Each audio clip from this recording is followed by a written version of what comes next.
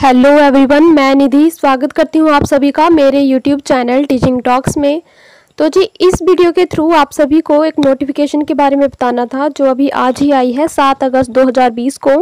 जो भी TET exams थे, जिनको पहले कुछ कारणों के चलते स्थगित कर दिया गया था, उनको दोबारा, उनके लिए दोबारा से एक डेट ऑफ़ एग्ज़ाम जो है वो तय की गई है।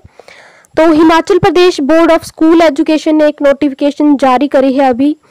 कि जो टैट के एग्ज़ाम्स थे, उनके लिए दोबारा से डेट दी गई है। तो देखिए जेबीटी का जो टैट है, वो होगा 25 तारीख को।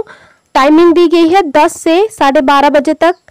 और उसके बाद देखिए, शास्त्री का टैट 25 तारीख को ही है। इसकी टाइमिंग है दो से साढ़े चार बजे तक। उसके बाद देखिए टीजीटी नॉन मेडिकल का टैट होगा 26 तारीख को।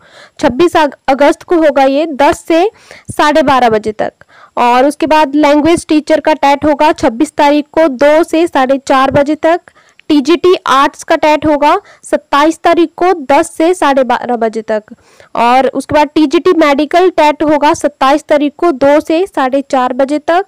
और देखिए पंजाबी का टैट होगा 28 तारीख को होगा ये 10 से साढ़े बारह बजे तक।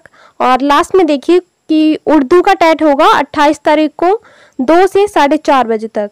तो ये नई नोटिफिकेशन अभी आई है। जिन बच्चों के एग्ज़ाम्स हैं, वो अपनी तैयारी एकदम अच्छे से रखिए और चैनल को सब्सक्राइब कर दीजिए ताकि जो भी नई नोटिफिकेशन आए, उसकी अपडेट आपको मिल जाएगी।